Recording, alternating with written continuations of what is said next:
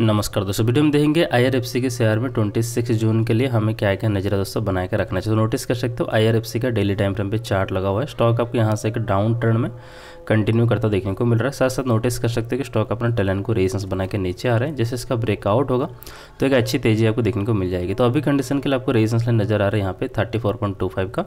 जब इसका ब्रेकआउट हो जाएगा नेक्स्ट रहेगा थर्टी का। सपोर्ट लाइन देखने को मिल जाएगा थर्टी का रहेगा सपोर्ट लाइन और दोस्तों आईआरएफसी के शेयर में नेक्स्ट ट्रेडिंग सेशन में हमें कौन से कौन से लेवल्स पर ध्यान रखने की आवश्यकता रहेगी? तो आपको यहाँ पे देखने को मिल रहा है सपोर्ट लाइन 31.80 का। रेजिस्टेंस लाइन देखने को मिल रहा है 32.65 का, जब इसका ब्रेकआउट हो जाएगा नेक्स्ट रहेगा दोस्तों 33.35 का। तो वीडियो लाइक करें, दोस्तों के साथ में शेयर करें चैनल को सब्सक्राइब करें बेलाइकन भी दबा लीजिए। धन्यवाद।